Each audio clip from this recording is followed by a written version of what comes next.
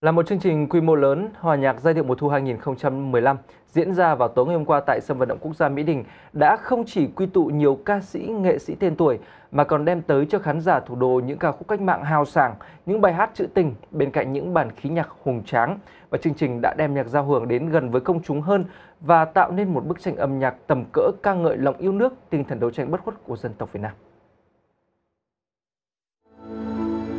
Mặc dù trời mưa khá to, nhưng không vì thế mà không khí tại đêm hòa nhạc giai điệu mùa thu 2015 kém phần sôi động.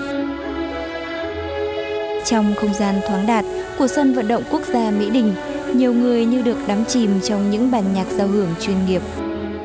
Khi mà mình nhận được cái giấy mời đến chương trình hôm nay thì mình cảm giác thấy có một cái gì đấy, ờ, nhất là khi đến đây nghe cái dàn giao hưởng đây thì mình thấy xúc động vô cùng. Thực ra thì ờ, đây là cái kỷ niệm 70 năm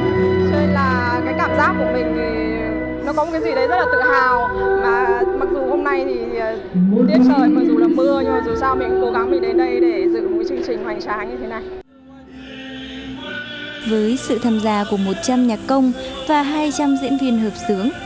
giai điệu mùa thu 2015 đã giới thiệu tới công chúng các tác phẩm tiêu biểu của nền âm nhạc Việt Nam được sáng tác trong nhiều thời kỳ từ hai cuộc kháng chiến đến nay.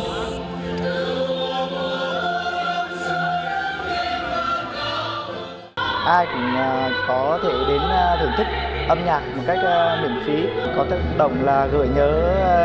về 70 năm về trước, về cách mạng cho mọi người. Đồng thời là với giới trẻ thì tôi cũng thấy ờ,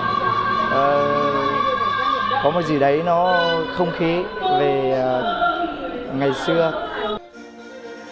Giai điệu mùa thu 2015 là một trong những điểm nhấn trong các hoạt động kỷ niệm 70 năm cách mạng tháng 8 và quốc khánh mùng 2 tháng 9.